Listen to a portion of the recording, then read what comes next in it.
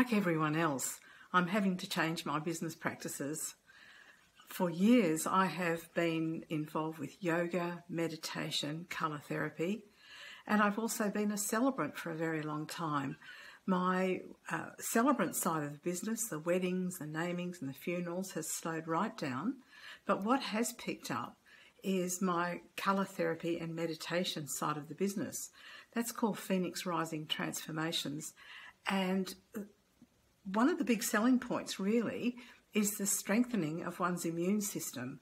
And so we look at the physical, mental, emotional, and spiritual aspects of being to get that all into balance, to make you just generally feel better and get some new ideas about how to live in this uh, changed world.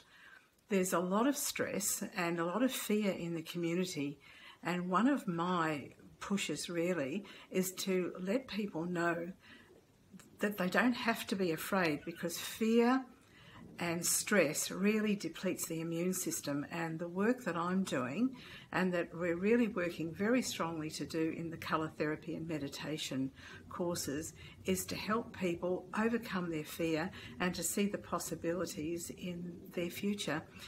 So there's a lot of good things to look forward to, and just generally to feel good about yourself. And thank you to Lauren at WBNA for facilitating so many good things on Zoom. I'm having to do my colour therapy courses on Zoom now.